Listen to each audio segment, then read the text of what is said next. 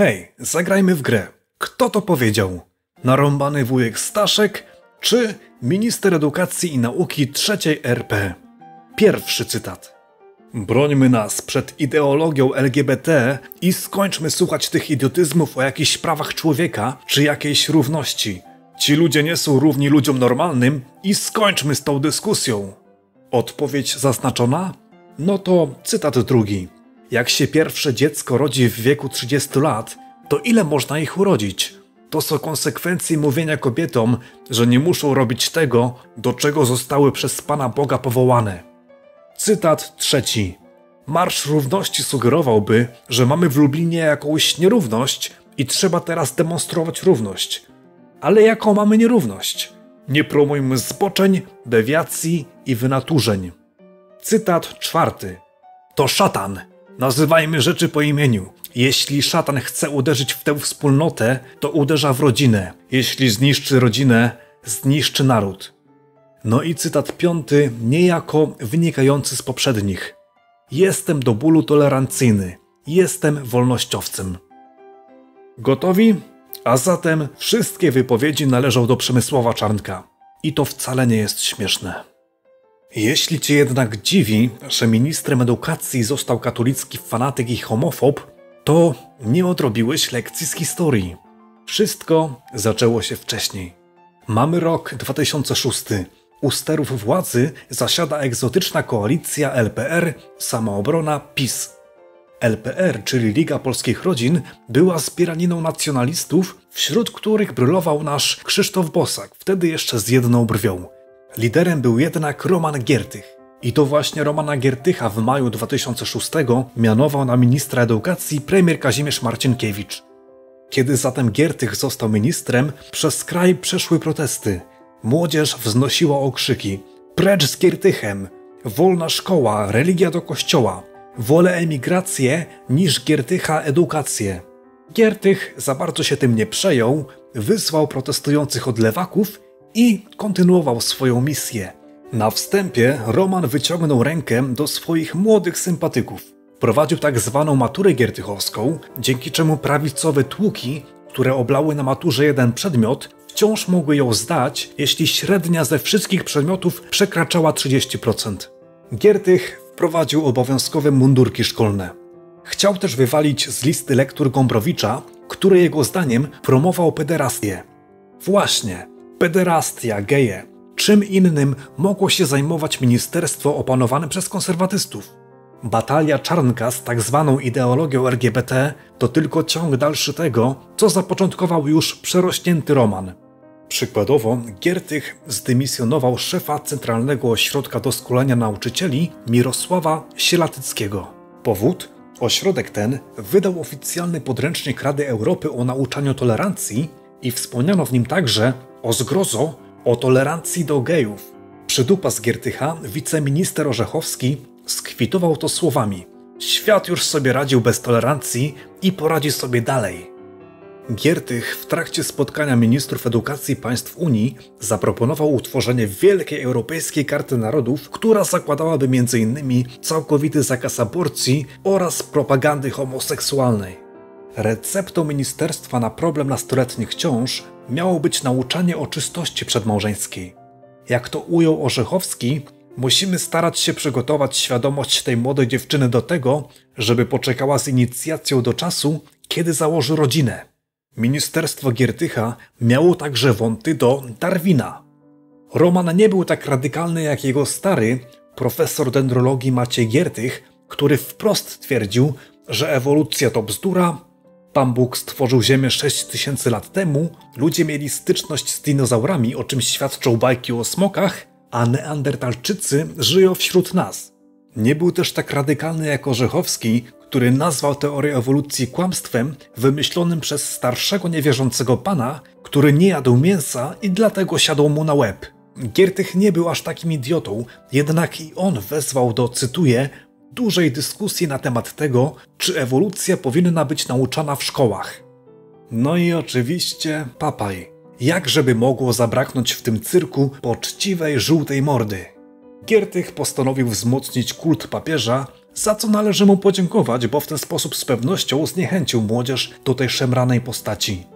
Roman wprowadził do listy lektur dzieło watykańskiego myśliciela pod tytułem Pamięć i tożsamość. Wymyślił też projekt dzieła papieża w każdej szkole, w ramach którego do każdej szkoły w Polsce trafić miało 15 tomów bredni Karola Wojtyły. Po Giertychu przyszedł Ryszard Legutko. Nie zagrzał długo miejsca, bo po czterech miesiącach rząd się rozpadł i zarządzono przedterminowe wybory. Można jednak powiedzieć, że kontynuował linię Romana. Za kadencji Legutki działała powołana przez Giertycha komisja cenzorska, która wydawała podręcznikom specjalne atesty. Zatrudniona w ministerstwie katechetka Teresa Izworska odmawiała atestu popularnemu podręcznikowi do nauki polskiego z serii To lubię. Powód? Jest za mało patriotyczny i zawiera szkodliwe propagandowe treści ekologiczne. Legutko razem z rządem spadł z rowerka w listopadzie 2007 roku, jednak nie dał o sobie szybko zapomnieć. W 2009 Europejski Trybunał Praw Człowieka orzekł, że wieszanie krzyży w klasach to naruszanie prawa rodziców do wychowania dzieci zgodnie z własnymi przekonaniami oraz naruszanie wolności religijnej uczniów. Skarga dotyczyła szkół włoskich, a nie polskich, jednak to rozstrzygnięcie skłoniło nastolatków z Wrocławia do złożenia w gabinecie dyrektora petycji, której wnosili o usunięcie symboli religijnych ze szkół. Legutko nazwał nastolatków rozpuszczonymi smarkaczami, które robią typowo szczeniacką zadymę. Sąd dał mu za te uprzejmości po łapkach, nakazał mu publicznie przeprosić nastolatków oraz wpłacić 5 tysięcy na cel społeczny. Cała sprawa miała miejsce już po tym, jak Legutko przestał być ministrem, ale mówi to nieco o tym, jakie miał podejście pedagogiczne i czy się na tego ministra nadawał. No dobra, w 2007 rząd PiSu upadł na ryj i potem rządziła Platforma, która nieco spuściła powietrza z tego patriotycznego balonu i nawet wywaliła papaja z listy lektury. W roku 2015 PiS jednak odzyskał władzę. Ministrami edukacji zostawały różne miernoty, którym m.in. udało się przeprowadzić idiotyczną reformę likwidacji gimnazjów, ale poza tym były to raczej postacie bezpłodne, które nie zajmowały zbytnio przeciętnego Kowalskiego. Wszystko się zmieniło, kiedy w październiku 2020 ministrem został Czarnek. Skąd on się w ogóle wziął? Czarnek legitymuje się tytułem doktora habilitowanego nauk prawnych i kreuje się na wielkiego intelektualistę. Wystarczy go jednak chwilę posłuchać, by dojść do wniosku, że coś tutaj śmierdzi. I faktycznie. W 2006 Czarnek uzyskał tytuł doktora nauk prawnych na Hogwardzie, przepraszam, w Katolickim Uniwersytecie Lubelskim. W 2015 odbyło się jego postępowanie habilitacyjne. Jak donosi tygodnik Przegląd, jednym z recenzentów jego pracy był doktor habilitowany Dariusz Dudek, który był wcześniej promotorem jego pracy magisterskiej oraz doktorskiej. Nie jest to zabronione, jednak nie praktykuje się tego od lat, ponieważ rodzi to problem konfliktu interesów. Sekretarzem komisji habilitacyjnej był z kolei starszy kumpel Czarnka, doktor habilitowany Rafał Biskup. Na stronie Ministerstwa Edukacji mogliśmy przeczytać, że Czarnek jest autorem kilkudziesięciu monografii i artykułów naukowych oraz specjalizuje się w prawie konstytucyjnym. Tymczasem figa z makiem. Dorobek Czarnka jest bardzo mizerny. Jest on autorem tylko jednej, a nie kilkudziesięciu monografii, siedmiu artykułów naukowych w recenzowanych czasopismach i trzech artykułów w recenzowanych wydawnictwach zbiorowych. Liczby nie spalają z nóg, no ale przecież nie liczy się ilość, tylko jakość. Być może Czarnek publikował w samych prestiżowych czasopismach i wielce się przysłużył polskiej nauce? Bynajmniej. Czarnek publikował głównie w wydawnictwach kościelnych lub związanych z kościołem. Oto dwa ciekawe przykłady recenzowanych czasopism, które zamieściły artykuły Czarnka. Biuletyn Stowarzyszenia Absolwentów i Przyjaciół Wydziału Prawa Katolickiego Uniwersytetu Lubelskiego oraz Kwartalnik Cywilizacja, wydawany przez fundację, której pierwszym prezesem zarządu jest Tadeusz Rydzyk. A czy inni naukowcy uznali pracę Czarnka na tyle wartościowymi, by je cytować we własnych publikacjach? Otóż nazwisko Czarnka nie pojawia się ani razu w międzynarodowej bazie cytowań Scopus.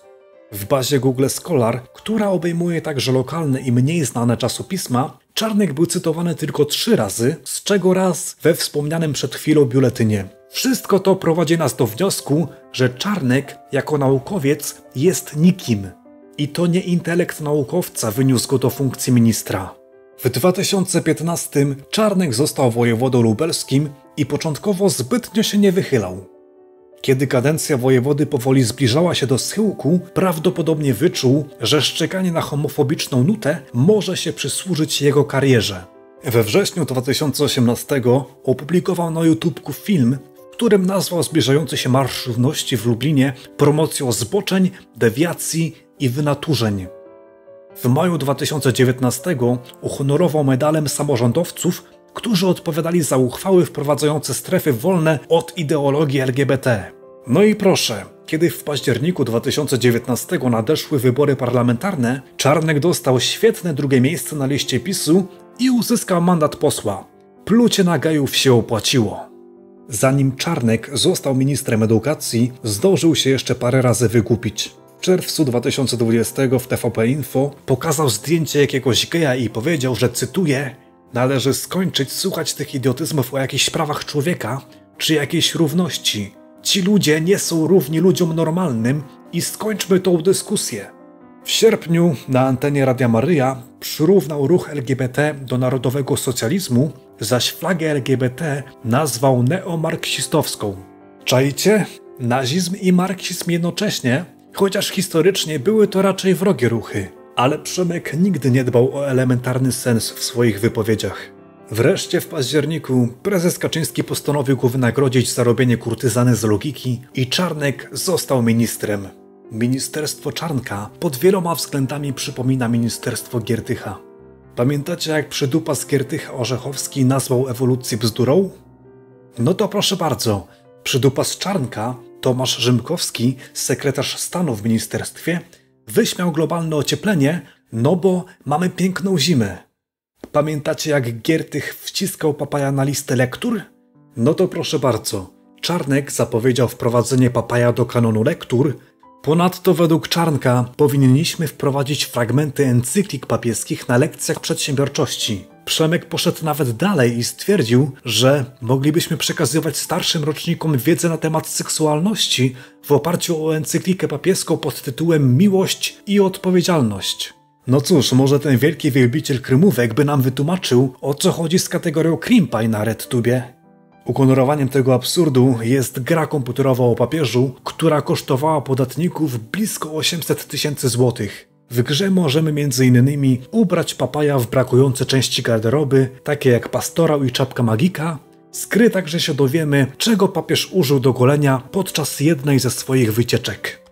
Za Giertycha demonizowano seks przedmałżeński oraz antykoncepcję i również w obecnych podręcznikach do biologii nie uświadczymy antykoncepcji. O metodach zapobiegania ciąży uczniowie mogą się dowiedzieć na fakultatywnych zajęciach z wychowania do życia w rodzinie, gdzie antykoncepcja jest obrzydzana przez katolicką propagandę. Jednak Czarnek potrafi nie tylko kopiować Giertycha, ma też własne pomysły na to, jak zniszczyć polską naukę. Ministerstwo Czarnka radykalnie zmieniło punktację dla czasopism naukowych. Od tego, ile dane czasopismo ma punktów, zależy ocena i kariera publikującego tam naukowca. Najbardziej na zmianach zyskała teologia oraz prawo kanoniczne, a także uczelnia ryzyka oraz KUL. Radosław Sikorski podał przykład tego, jak absurdalna jest nowa punktacja. Otóż przełomowy artykuł na temat szczepionki opublikowany w Nature będzie wart tyle samo, co dwa artykuły w piśmie Vox Patrum wydawanym przez sekcję historii Kościoła i patrologii na Kulu. Na listę punktowanych czasopism trafił też szmatławiec Fides Ratio et Patria Studia Toruńskie, wydawany przez uczelnię Rydzyka. Dostał 40 punktów, czyli tyle, ile ma przykładowo najbardziej prestiżowe pismo teatrologiczne Didascalia.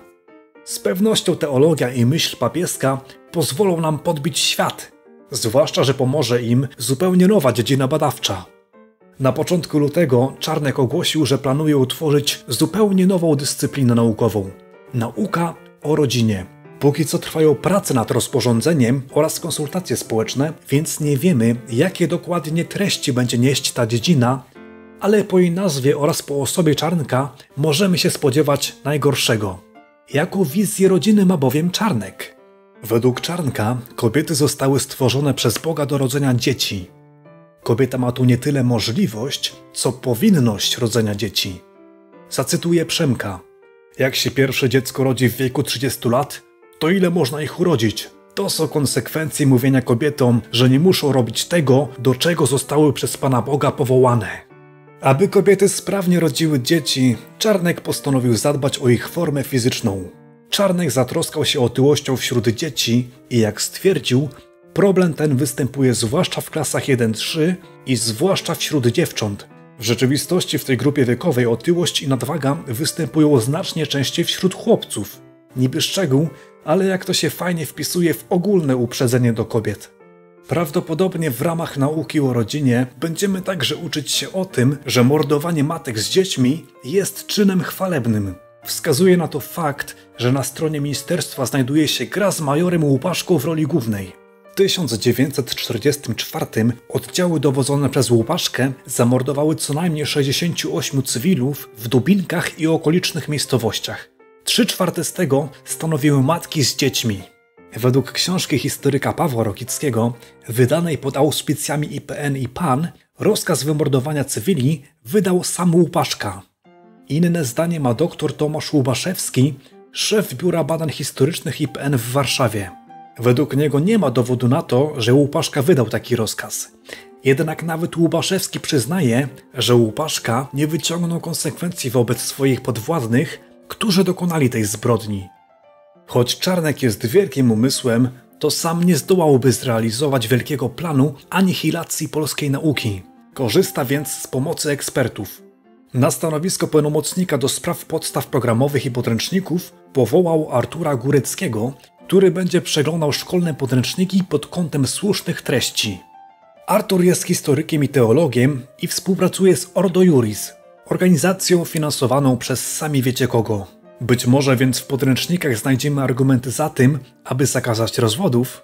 A jeśli chodzi o książki do historii, Czarnkowi będzie doradzać były łódzki kurator Grzegorz Wierzchowski.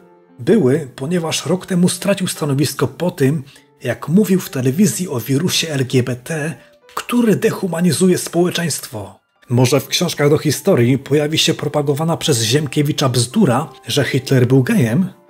Dzisiejszy odcinek nie napawa nas optymizmem, jednak widzę światełko w tunelu. Akcja rodzi reakcję. Od początku rządów PiSu aż trzykrotnie wzrósł odsetek młodzieży w wieku od 18 do 24 lat, która deklaruje lewicowe poglądy. Nie wątpię, że duża w tym zasługa polityków pokroju Czarnka.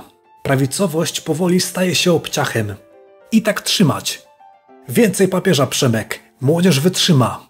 Gorzej z samym papieżem.